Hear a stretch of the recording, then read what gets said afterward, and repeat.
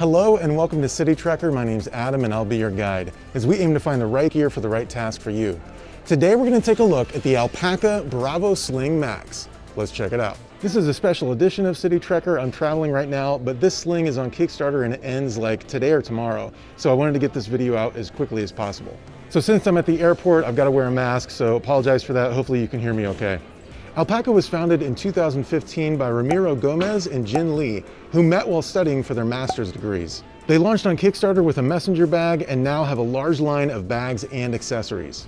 The Bravo Sling Max is their 10th crowdfunding campaign and builds on the Bravo Sling design.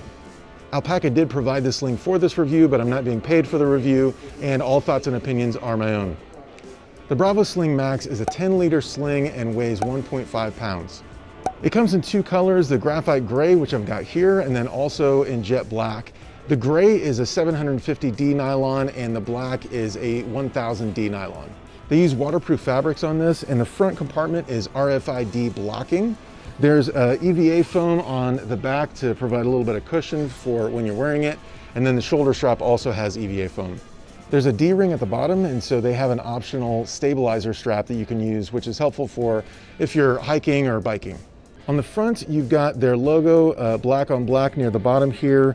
You've got a USB access, uh, so you can have uh, like a charging battery on the inside of this and then plug your cable on the outside for charging your phone, which is helpful. And this opens up so you can store uh, SIM cards in here and they've got this little tool that you can use for getting the SIM card out of your phone.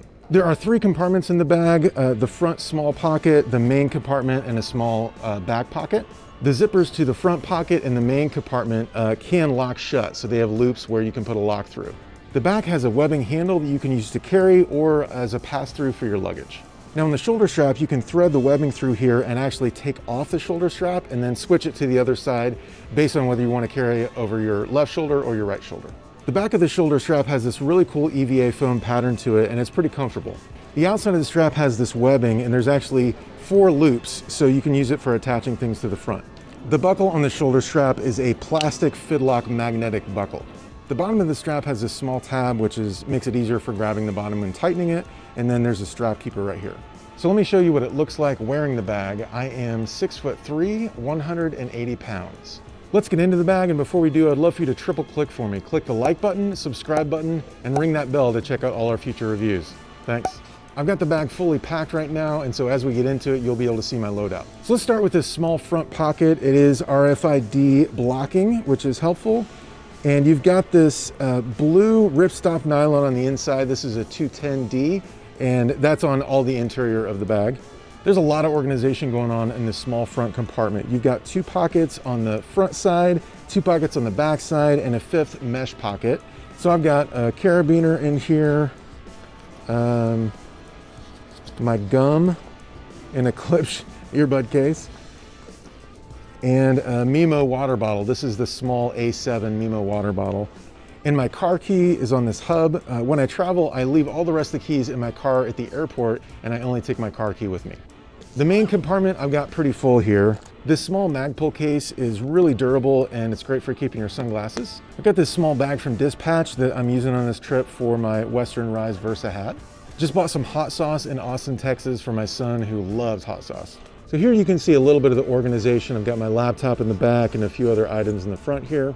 This will hold up to a 13 inch MacBook Pro, which is what I'm carrying. And the laptop sleeve is suspended and really soft on the inside. This tomtoc case I use for hard drives. I've got two uh, small crucial hard drives in here. My Able Carry Joey pouch, which has my candies inside. Trakke Dyneema small cube, and I've got cologne and lip balm and peace and calming oil. A Native Union iPhone cable for charging my phone. I've got this clip from the Alpaka hub system, and so I can put the, the key on here. You can stick this on the outside of the strap um, or put it on your belt, whatever.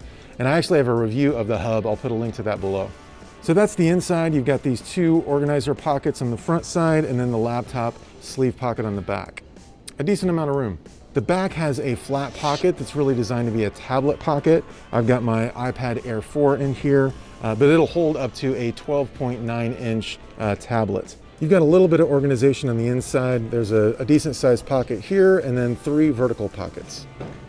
So that's a review of the Bravo Sling Max. I hope you enjoyed it, and if you did, please click the like button below and subscribe to the channel to check out all of our future reviews. Thanks so much, and take care.